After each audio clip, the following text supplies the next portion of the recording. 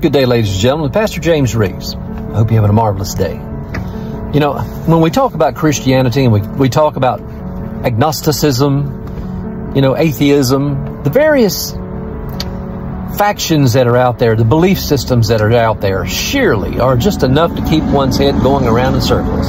You know, but I'm speaking to the Christians right now. Those people who proclaim to know Jesus Christ, who will, in a skinny second, profess Him to anybody and everyone, always ready to give an account of why they love the Lord. Amen? I know I am. But you know, not everybody's like that.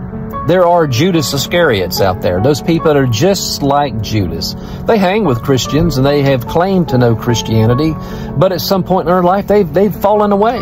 They've apostatized. They've, they have known the good of God and they've seen the miraculous of God. They've studied His Word and yet they have chosen the other way. I don't pretend to understand that, but they're there. They're in the midst of some churches right now. They're in your workplace. They're your next door neighbor sometimes. But that's that's beside the point.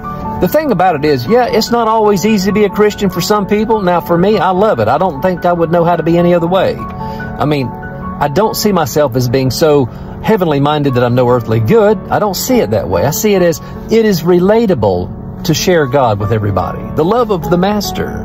But then again, you've got people who will take pot shots at anybody who believes in Jesus and says anything about him. I mean, we get those here, believe it or not, on this YouTube channel. We get people who say, that's stupid. You know, that's ridiculous. They make all kind of snide remarks, but you know what? That just helps me hone in the topics even better and to be more certain and to more refined about the approach. Because you see, Christ said to his, to us, he said, don't worry about it. He says, the world hated me, they're to hate you too.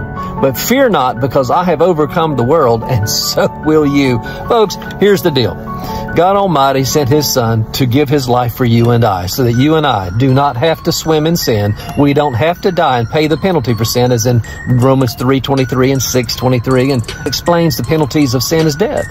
Jesus provided the better way. You and I have hooked into that, and we are excited about it.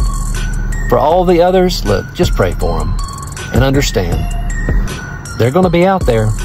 They're going to be pointing fingers and they're going to be slinging mud at you. But just smile. Say, you know what? I love the Lord and I'm going to be praying for you regardless. You have a good day until I see you again at the point of time. This is Pastor Jim.